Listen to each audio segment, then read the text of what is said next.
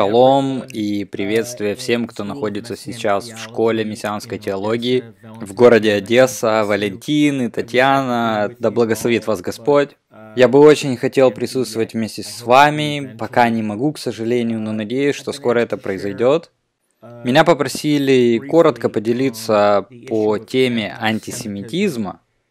Я бы хотел, конечно, поговорить об этой теме, об антисемитизме, особенно в преддверии грядущего Пурима, когда мы вспоминаем э, события, когда сатана прикладывал усилия для того, чтобы истребить еврейский народ, и мы празднуем Божий план, который преодолел и победил этот план разрушения. Но я бы хотел вернуться к истокам антисемитизма.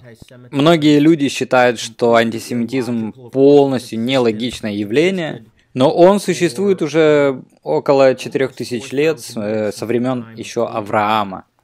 Аж с того самого момента, когда Господь призвал Авраама и объявил ему, что от него он произведет великий народ. С того самого момента враг стремился и пытался уничтожить детей и потомков Авраама. И, конечно, он ненавидит э, Божий народ, э, сатана ненавидит план Божий, он ненавидит Слово Божье, он ненавидит самого Всевышнего и думает, что он в итоге одержит победу. Но он отец лжи, и ничего у него не получится. Однако, несмотря на то, что многие книги скажут, что антисемитизм не логичное явление, это не так. Это совершенно не спонтанная ненависть по отношению к еврейскому народу, которая происходит из-за ревности или любого другого вида человеческих эмоций. Это явление, наоборот, довольно логическое, и систематическое. Оно спланировано, это явление, и истоки его ведут к самому сатане. Если мы хотим разобраться в истоках или начале антисемитизма, мы должны обратиться к началу библейской истории.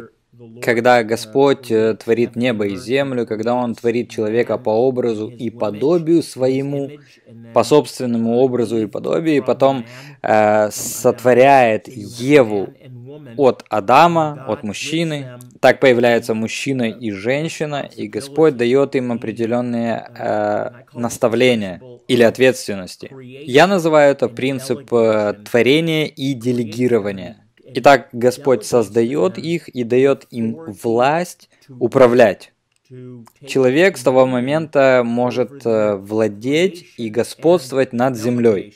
Итак, э, творение или создание и делегирование. И Господь говорит Адаму и Еве, что они могут есть от любого дерева или от любого плода, но только не от э, дерева познания добра и зла. И потом мы встречаем эту историю об э, обмане со стороны э, змея в Бытие 3 главе. Здесь же мы встречаем первое обещание об искуплении, э, когда идет речь о проклятии э, змея. Я бы сейчас хотел некоторое время помолиться, потому что это не то, что мы получаем в разуме, в интеллекте, но это то, что мы должны принять в свое сердце. Поэтому обращаюсь ко всем тем, кто ищет возможности служить Господу полным служением, посвятить Ему все свое время, особенно, например, через это, эту библейскую школу, для всех тех, кто верит, что Господь э, имеет призвание для каждого из вас в вашей жизни, я вам хочу сказать, что служение происходит от веры, потому что без веры угодить Богу невозможно. И мы принимаем истину э, Божьего Слова через наш дух или в нашем духе. Конечно, мы вначале слушаем ушами, но э, в итоге мы принимаем это благодаря слушанию своим сердцем.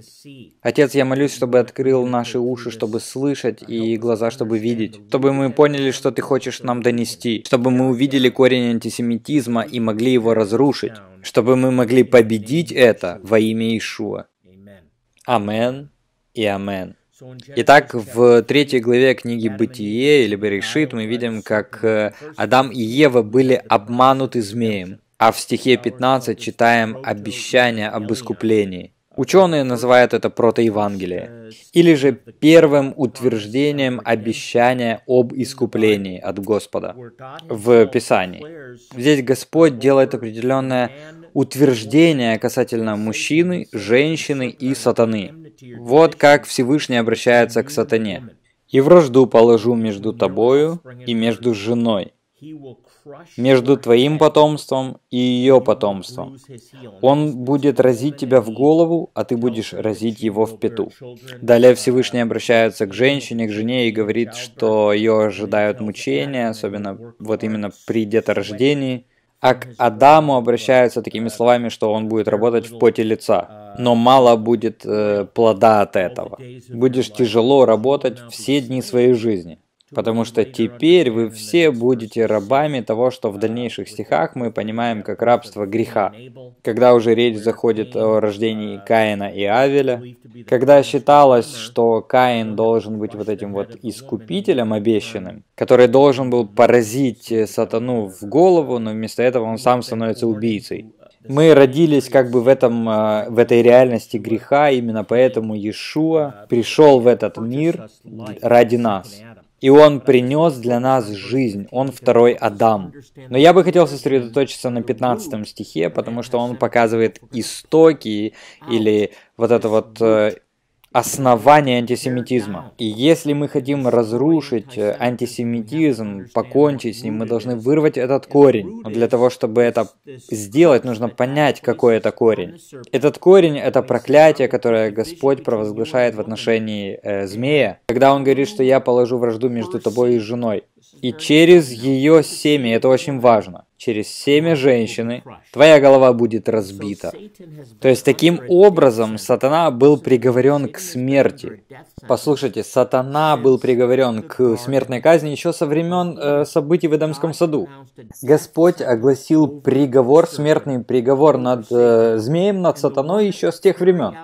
Но тот, кто должен привести в исполнение этот приговор, произойдет от семени женщины. Обычно, когда я рассуждаю или учу на эту тему, я очень много подробностей здесь разбираю, но так как Валентин мне дал немного времени, всего 45 минут, мне нужно в это время уложиться. Итак, сатана приговорен к смертной казни, которая осуществится через семя женщины.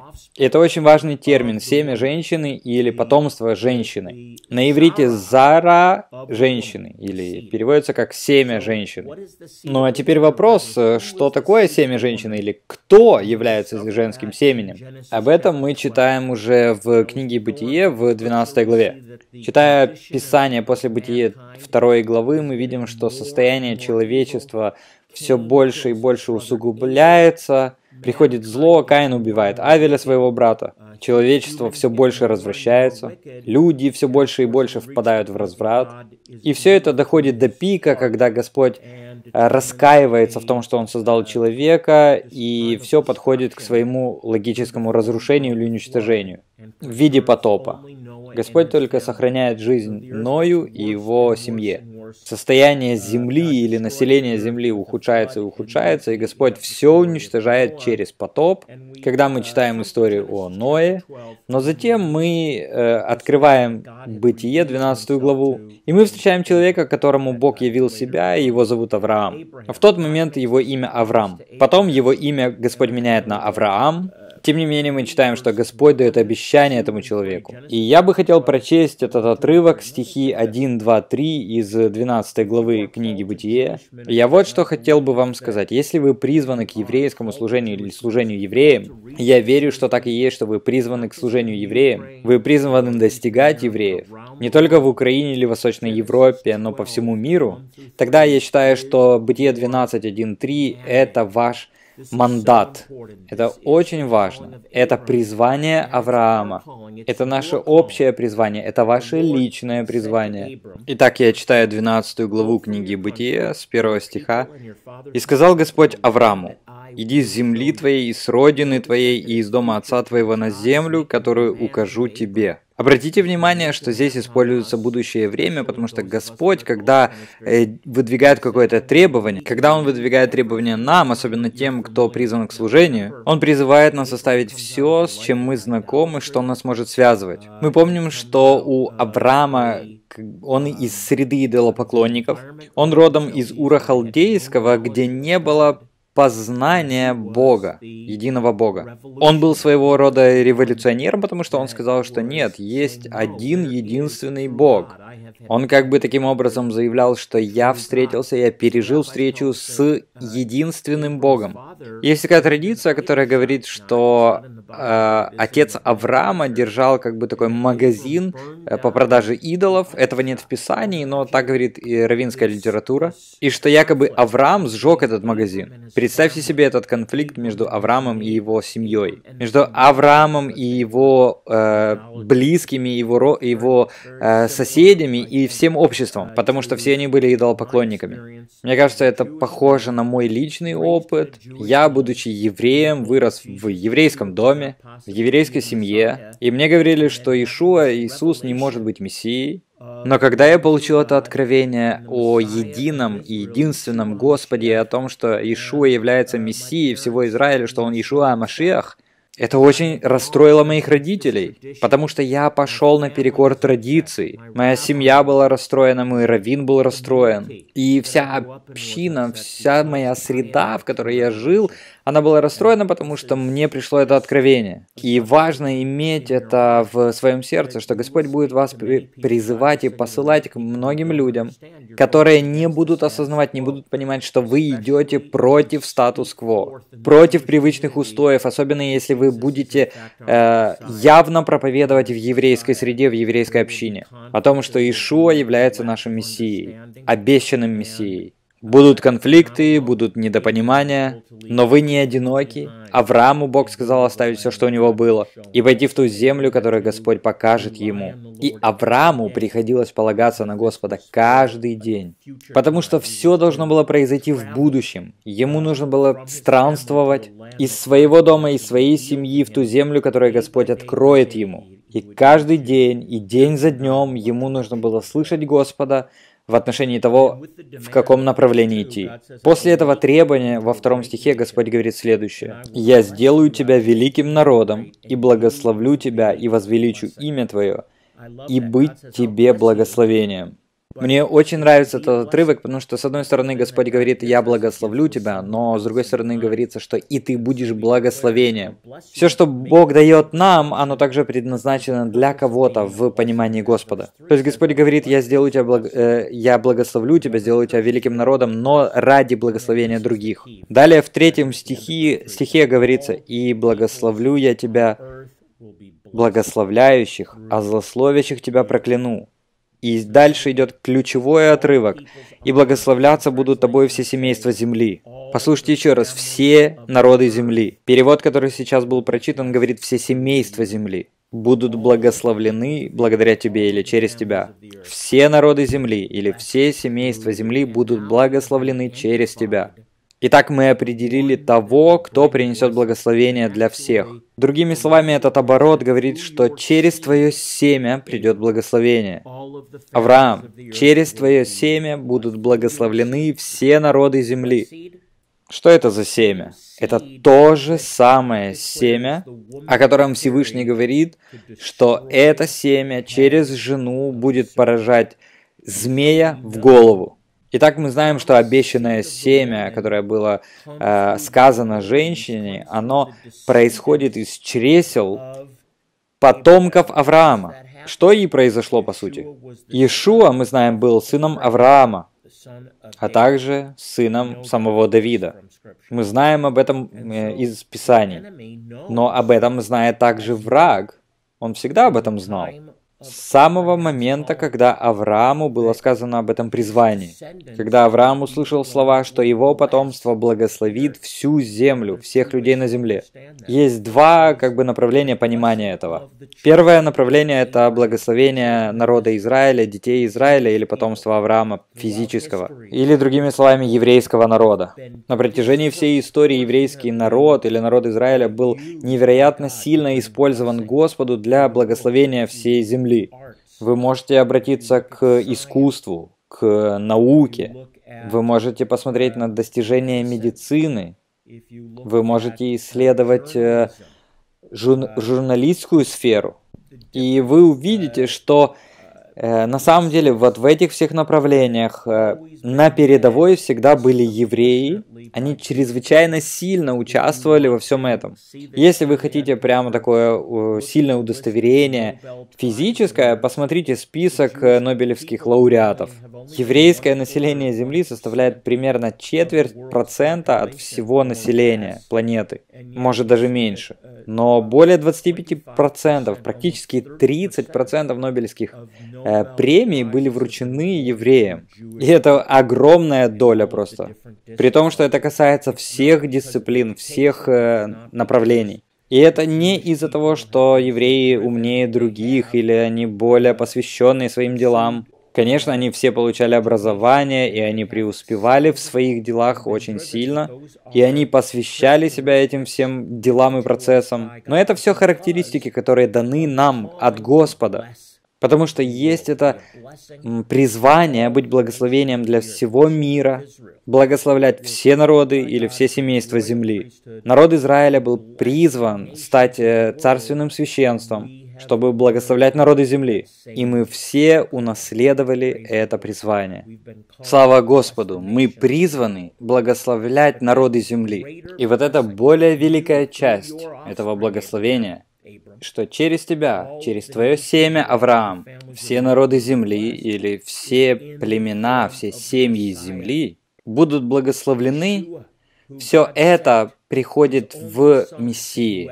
Это Иешуа, которого послал как единственного Сына сам Отец, чтобы всякий верующий в Него не погиб, но имел жизнь вечную. Вот так выражается это через потомство Авраама. В образе Машиаха, в образе Мессии, который приходит как второй Адам, чтобы исправить. Исправить то, что первый Адам сделал неправильного. Именно второй Адам, Иешуа, восстановил нас э, в отношениях с Господом и убрал это разделение между нами и Богом, которое произошло в саду. Сатан, конечно, знал это, поэтому он сделал сынов Израиля своей мишенью, своей целью. Почему существует антисемитизм? В чем корень антисемитизма? И заключается это в ложной стратегии, в ложной идее или мысли о том, что если можно уничтожить э, народ Израиля, детей Израиля, таким образом можно отменить исполнение пророчество о семени. Это именно то, чем занимался Сатан в течение тысячелетий. Он пытался уничтожить Божье семя, Божий народ, и в истории появлялось очень много антихристов которые восставали на протяжении всей истории, и это были как бы проявления демонической природы. Я считаю, что сатана, например, воплощался в облике фараона, который был своего рода антихристом, и он пытался уничтожить еврейский народ путем убийства всех мальчиков. Для чего он это делал? Для того, чтобы не пришел искупитель к своему народу, чтобы он не появился в среде своего народа. Мы видим э, образ Антихриста в Амане, когда читаем э, события Пурима. Э, вы знаете, я считаю, вот мое мнение такое, что он был как бы одержим он был одержим именно бесами, демонами, самим сатаной. Именно поэтому у него была единственная цель в жизни – уничтожить весь народ Израиля, всех сынов Израиля, уничтожить евреев. Мы видим, как этот же дух проявляется и дальше, в событиях, уже предшествовавших рождению или во время рождения Иешуа в облике Ирода, который пытался не допустить появления э, Искупителя и отправил войска в Вифлеем и его окрестностей, приказав убить всех мальчиков, младенцев, э, до двух лет, до двух-трех лет, чтобы не дать Мессии прийти. Он от самих раввинов и от э, волхвов, от этих царей, он знал о том, что Машиах должен родиться в Вифлееме. Но Ирод, будучи воплощением Антихриста, будучи воплощением зла, он пытался препятствовать исполнению этого пророчества, этого обещания. Тот же самый образ мы видим в личности Антиоха Эпифана, когда мы празднуем события Хануки, например. Это была очередная попытка уничтожить еврейский народ. То же самое предпринял Адольф Гитлер, который также пытался уничтожить еврейский народ. Это была его поглощающая цель. Но корень антисемитизма – это демоническая ложь, бесовская ложь. Это убеждение самого сатаны, что если он уничтожит Божий народ, если он уничтожит Израиль, тогда обещание о семени, оно просто не исполнится. Возникает простой вопрос, что если Ишуа все-таки пришел, умер и воскрес, и победил сатана, почему тогда антисемитизм продолжается? И особенно есть ужасное вот это наследие антисемитизма в христианской церкви, в христианстве, через тех, кто называли, сами себя называли христианами. И ответ в том, что вот это обещание о семени э, от э, женщины, которая э, размажит голову сатаны, оно состоит из двух частей и подразумевает первое пришествие в образе Агнца Божьего, чтобы взять на себя грехи, но полнота этого исполнения придет, когда Ишуа вернется в образе льва из колена Иуды. А это значит, что у врага еще есть работа. И сейчас это еще более серьезная работа, потому что Сатан пытается при препятствовать возвращению Ишуа. И какова же стратегия, каков план или э, работа, э, чтобы препятствовать Ишуа вернуться? Стратегия все та же, которая работала в первый раз, когда Ишуа должен был прийти впервые. И заключается она в уничтожении народа Израиля, уничтожении сынов Израиля, уничтожении потомства самого Авраама. Но в чем же доказательство этого? Оно очень простое.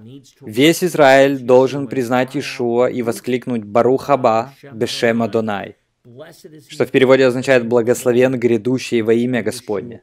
И тогда Ишуа сможет вернуться. Об этом как раз мы читаем в Римлянах 11 главе. Там сказано, что благодаря свидетельству язычников произойдет такое, как бы, это, это вызовет ревность у евреев. И через полноту, которая придет в церковь, она, они выполнят свое предназначение, проповедовать, во-первых, евреям, проповедовать Евангелие, во-первых, еврейскому народу. В Римлянам 11.27 Писание говорит следующее. «Весь Израиль спасется». И в следующем же стихе говорится, «Тогда придет Искупитель на Сион, тогда Искупитель утвердит свое царство». Тогда откроется источник очищения от греха и всякой нечистоты. Но именно так же, как еврейский народ, потомство Авраама, были теми, кто привел Мессию в этот мир, Иначе говоря, семя Авраама или семя женщины через семя Авраама, так же самое возвращение Иешуа произойдет именно через еврейский народ, который должен воскликнуть «Барухаба Бешем Адонай» «Благословен грядущий во имя Господне». Таким образом, мы видим, что именно план бесовский, план сатаны заключается в том, чтобы не дать исполнению этого пророчества или обещания о семени и из Бытия 3.15. Позвольте этому утвердиться в вашем сердце, в вашем разуме. Услышьте это, чтобы вы это слышали в своем духе. Корень антисемитизма – это бесовский, выверенный, хорошо обдуманный заранее план – или стратегия, чтобы не дать исполниться обещанию, описанному в Бытие 3.15. Почему? Потому что сатане вынесен смертный приговор. Господь всей вселенной сказал ему, что семя женщины размажит твою голову. Ты будешь жалить его в пету, но он размажит твою голову. Это смертный приговор. Но враг считает, что он может э, удержать от исполнения этот, этот приговор, если он уничтожит э, семя Авраама или народ Израиля. То есть мы видим такой систематический, выверенный, э, выверенное усилие по уничтожению народа Израиля, чтобы не исполнились слова из Бытие 3.15. Еще раз повторю, что это выверенная и систематическая стратегия. И именно это, мои дорогие друзья, и есть сам корень, само основание антисемитизма. Как же раз, разрушить эту твердыню, как же справиться с этим? Прежде всего хочу вам напомнить, что мы не воюем против плоти и крови. Ефесянам 6 глава, нам хорошо знаком этот отрывок. 12 стих говорит следующее. «Мы ведем борьбу не против людей, не против плоти и крови, но против правителей, властей и вселенских сил, управляющих этой тьмой, против духовных сил зла. Послушайте, что дальше сказано, очень интересно. Находящихся в небесных сферах. В небесных сферах. Это означает, что мы не можем просто так выиграть эту битву, противостоя просто людям. Другими словами, мы не можем победить в войне против антисемитизма в нашей привычной или естественной реальности. Э, должны ли мы что-то провозглашать, делать какие-то заявления? Да. Должны ли мы учить? Однозначно, потому что вера приходит от слышания а слышание от Слова Божьего. Мы должны учить, мы должны обучать, тренировать, оснащать. Мы должны объяснять верующим и помогать им понять, что антисемитизм – это демоническая стратегия не только по уничтожению еврейского народа или Израиля, или детей Авраама, но через уничтожение народа Авраама или потомства Авраама препятствие Божьему плану по искуплению земли. Поэтому, конечно, мы провозглашаем и учим. Мы провозглашаем, мы обучаем. Это очень важно, но я также хочу, чтобы вы никогда не забыли, что это духовная война, духовная битва. Потому что мы не воюем против плоти и крови. Там на самом деле, в буквальном смысле, есть правители, власти, силы тьмы, самой тьмы, духовные как бы силы, находящихся в небесных сферах. Когда вы это поймете, вам удастся сделать, делать определенные вещи, долгосрочные вещи против антисемитизма. Вы действительно сможете принести определенные изменения, когда это войдет в ваше понимание, что это именно духовная война, которую мы ведем. А природа антисемитизма, она духовна также. И она не сосредоточена только в таких личностях, как Гитлер или других личностях, которые просто выражали это зло. Но сам корень всего этого, этот корень, он духовный. Это демонические или бесовские силы в небесных сферах. И чем, бо... чем быстрее мы это поймем, тем быстрее мы сможем действовать духовно, в духе, чтобы уничтожать эти твердыни. Именно об этом говорит нам Писание. Хочу прочесть 1 Коринфянам 10 главу. Пока есть время, вы открываете это место Писания. Э, извините, 2 Коринфянам 10 глава, 3-4 стих. Еще раз, 2 э, Коринфянам 10 глава, стихи 3 и 4. Вот что здесь написано. «Ибо несмотря на то, что мы живем в мире, или в плоти, другими словами, в теле, мы не ведем войну мирскими методами». То есть мы не ведем войну против плоти таким же образом. Иначе говоря, идет война. Антисемитизм – это война. Это суровая война, которая длится уже около четырех тысяч лет – но у нас есть прекрасные новости, у нас есть хорошая новость о том, что тот, кто в нас, больше того, кто в этом мире. Прекрасные новости, они видны как раз в Божьем Слове, которое Он провозгласил в Еремии 31 главе, что как солнце светит днем, а луна и звезды светят ночью, они являются свидетельством тому, что Господь Бог, Он сохранит народ Израиля. Причина того, что Антихрист потерпел неудачу. Или причина того, что фараон потерпел неудачу. Причина, по которой Ирод потерпел неудачу. Причина, по которой Адольф Гитлер потерпел неудачу и другие антихристы потерпели неудачу в истории, заключается в том, что суверенный Господь провозгласил «Я сохраню народ Израиля, потомство Авраама для себя». И это не из-за них самих, а благодаря их призванию принести искупление для всего мира, для всего человечества. И мы все вошли в это призвание. Хотя мы ходим во пл в плоти, в теле, мы не воюем по плоти или против плоти. Мы не просто победители или покорители в том, кто возлюбил нас и укрепил нас. Мы ходим не в теле, но в духе. И далее в четвертом стихе говорится, что так как оружие, которым мы воюем, не мирское, Напротив, в нем есть Божья сила, способная уничтожать твердыни. Мы уничтожаем доводы. Антисемитизм – это твердыня. Антисемитизм – это духовная борьба. Антисемитизм – это не война против плоти или против крови. Это война против духов тьмы, против сил духовных, против зла, которое находится в небесных сферах. И хорошая новость заключается в том, что Господь дал нам власть и дал нам силу чтобы не спровергать, чтобы побеждать, уничтожать эти твердыни.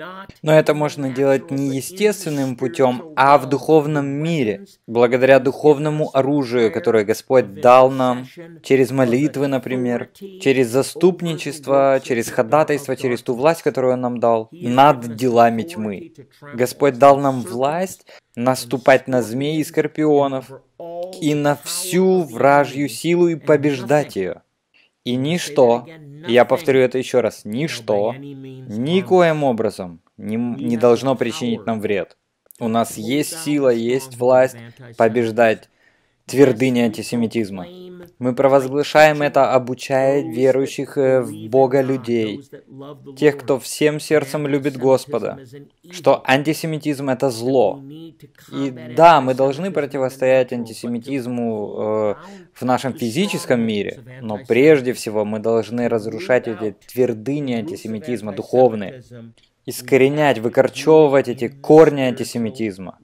А это происходит именно в духовной реальности, через молитвы, ходатайства, через нашу власть духовную, но более всего через провозглашение Евангелия. Хочу прочесть еще один отрывок из Писания, это 2 Коринфянам, 3 глава, 5 стих. Извините, это 2 Коринфянам 10, 5. Здесь сказано, мы уничтожаем доводы и любое превозношение, восстающее против познания Бога. Мы берем в плен всякую мысль и делаем ее послушной Мессии. Это целый процесс, который происходит в нашем разуме, когда мы начинаем размышлять так, как Господь мыслит. Мы смотрим духовными глазами, а не физическими. Нам был выдан очень ответственный и великий мандат. Мы призваны провозглашать Евангелие, во-первых, евреям, и мы, нам сказано, что Евангелие — это сила Божья ради спасения. У Господа есть план по утверждению мира, шалома. У Него есть план по утверждению мира в Израиле. У Него есть план по утверждению мира на Ближнем Востоке. У Него есть план для того, чтобы установить мир в Украине. У Него есть такой план для США и для всего мира. И это единственный план. Это не какое-то соглашение, это не двусторонний договор. Усилия человеческие здесь вообще ни при чем, потому что люди не преуспеют в этом. Это откровение о князе мира, о князе Шалома в сердцах людей, когда произойдет трансформация сердец, потому что Евангелие трансформирует человеческое сердце. Я встречал антисемитов в своей жизни. Я встречался с исламскими террористами. Они хотели убивать евреев, они хотели уничтожить Израиль. Но на сегодняшний день они любят Господа. Сегодня они любят государство Израиль. И они верят, что еврейский народ имеет право на государство Израиль. Эти люди теперь любят еврейский народ, и у меня была привилегия насладиться их обществом и называть их братьями и сестрами по вере. Что же произошло? Их жизни были трансформированы благодаря про проповеди, провозглашению Евангелия. Эти корни горечи, корни ненависти, корни антисемитизма были вырваны, когда свет Божий вошел в их сердца. Евангелие и есть этот свет. Итак, как мы противостоим или как мы побеждаем антисемитизм, как мы выполняем Божий план, как мы продвигаем его и как мы выкорчевываем эти корни. Прежде всего через понимание корней антисемитизма. Это на самом деле сам Сатан, чье стремление уничтожить потомство детей Авраама, Ицхака и Якова, уничтожить верующих людей и не допустить исполнения Божьего плана, который заключается в искуплении мира, правлении Мессии. Но хорошая новость заключается в том, что в итоге его план провалится. Однако пока мы до сих пор находимся в этой битве, в этой войне. Этот конфликт продолжается, но эта битва, она невидима, она духовная. И да, мы учим, мы провозглашаем против антисемитизма, но провозглашение Евангелия и та духовная война, которой мы призваны, через молитву, через ходатайство, через служение и проповеди в власти и силе Иешуа, по вере в Него, она остается, когда мы особенно входим в эту духовную реальность, потому что таким образом мы не спровергаем эти твердыни. Услышьте, у вас есть оружие, у вас есть сила и власть, и авторитет, чтобы завоевать и победить эти твердыни. Поэтому восстаньте, поднимитесь. И в итоге я хочу рассказать одну историю в завершении. Это история Пурима, история победы, это история искупления, это история прорыва. И Господь прекрасно знает, нам нужен этот прорыв. Мы живем в очень темные времена, но я верю, что Господь, Он посетит нас. И история Пурима — это, по сути, история о послушном слуге Божьем, о человеке Божьем, имя которого Мардыхай, который не преклонил свои колени перед человеком. И он лицом к лицу столкнулся со всем злом антисемитизма в образе Амана. У Мордыхая самого по себе не было силы или власти. Он был как бы за воротами. Но у него была племянница или в, друг, в других источниках дочь, ее звали Эстер. Эстер, или в начале ее имя было Хадаса. У нее появилась власть, потому что она имела вход к царю. Она стала невестой, потом женой царя, и поэтому у нее был доступ к царю. Она могла говорить, обращаться к царю. Таким же образом и вам была дана подобная власть. Во имя Иешуа со смелостью входить к престолу благодати. Мордыхай, который был за воротами, он понимал кое-что. Что сама Эстер, она была как бы путем или дверью к спасению. Она была, по сути, источником спасения который предоставил сам Господь. И в своем обращении к ней Мордыхай настоял и сказал, ты должна пойти к царю и сказать ему. И я верю, что Эстер получила этот дух смелости, она получила дух, дух отваги. И мы нуждаемся в подобных э, смелости и отваге, чтобы познать и принять, что я это сделаю, я могу это сделать. Я готов положить свою жизнь, я пойду и обращусь к самому царю, и я буду просить об этом. Я принесу эту просьбу Мардыхая о народе Израиля, как и поступила она. Ведь она была еврейкой, хотя она скрывала свою, свое происхождение вначале. Но потом она сказала, если я умру, я умру. Мардыхай бросил ей вызов, и я бросаю вам вызов. Тот же самый вызов сегодня. Господь призвал вас в свое царство ради такого времени, которое наступило сегодня. Эстер в определенный момент поняла кое-что. Господь призвал ее именно для такого времени. И через пост и молитву она вошла в присутствие царя, и она принесла свою просьбу ему. И царь, он по сути принял ее, он расположил свое сердце по отношению к ее просьбе. Он дал ей этот дар.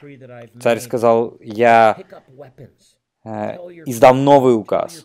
Пусть все вооружатся. Скажи своим людям, чтобы они взяли оружие. Она вышла вперед, и она сказала царю, что она была еврейкой, и она больше не скрывала этого. И в итоге царь сказал, что я издаю новый указ. И этот указ гласит, что вы можете вооружать себя. Евреи могут вооружаться и противостоять врагу. И вот в Пурим мы празднуем великую победу победу еврейского народа. Мордыхай умолял Эстер, но Эстер была послушна со своей стороны. Я умоляю вас сегодня, поднимите оружие вашей духовной войны. Я прошу вас сегодня, придите в Божье присутствие, когда вы можете оставить все позади, когда вы можете понять, что вы были призваны в Божье Царство, именно для этого времени, которое сейчас происходит. У нас есть божественная возможность, у нас есть особое время сейчас в этой истории, чтобы вырвать эти корни антисемитизма, чтобы не спровергнуть и разрушить эти твердыни антисемитизма, чтобы провозгласить Евангелие со смелостью, чтобы применить эти средства духовной войны, это оружие духовной войны, и уничтожить твердыни, жизни. И я провозглашаю над каждым из вас, что вы, каждый из вас был призван в Царство Божье ради такого времени, как сейчас. Я провозглашаю на каждого из вас, что у вас есть власть во имя Ишуа, во имя Иисуса, через веру в Его имя, на то, чтобы разрушить твердыни, чтобы пленить всякое воображение, чтобы победить любое превозношение, восстающее против познания Бога, чтобы пленить всякую мысль и всякое непослушание во имя Ишуа. Я провозглашаю жизнь на вас. Я провозглашаю, что тот, кто вас, больше того, кто в этом мире. Господь, мы воюем не против плоти и крови, но наша брань против властей тьмы, против мироправителей и всяких духов. Но прекрасная новость в том, что Ты дал нам победу, победу над сатаной, и мы провозглашаем, что его голова будет разбита когда Ишуа вернется. Господь, мы провозглашаем «Благословен грядущий во имя Господне». Мы провозглашаем «Израиль будет спасен». И я молюсь за каждого, кто участвует в этом классе сегодня. Господь, Ты призвал их. Господь, Ты помазал их. Я провозглашаю над вами благословение. Вы исполните Божье призвание, которое есть в вашей жизни. Будьте сильны, будьте мужественны, поднимите инструменты, орудия вашей духовной войны. Вырвите эти корни антисемитизма. Не спровергните твердыни антисемитизма. Провозглашайте Евангелие со смелостью, чудесами и знамениями, и чудесными явлениями, чтобы мы увидели, как Иешуа возвращается на землю. И мы прославляем Тебя и говорим, благословен грядущий во имя Господне. И благословен каждый, всякий человек, который отдает свою жизнь, чтобы служить Тебе, и всякий, кто учится в этой школе мессианской теологии. Я благословляю каждого из вас во имя Ишуа. Амен. И амен. Очень надеюсь, что скоро мы встретимся, я с вами увижусь. Принимайте это, я верю, что Господь хочет сделать что-то невероятное в ваших жизнях и через вас. Как было сказано Аврааму, я благословлю тебя, но для того, чтобы ты был благословением для всех семейств земли. Шалом, шалом.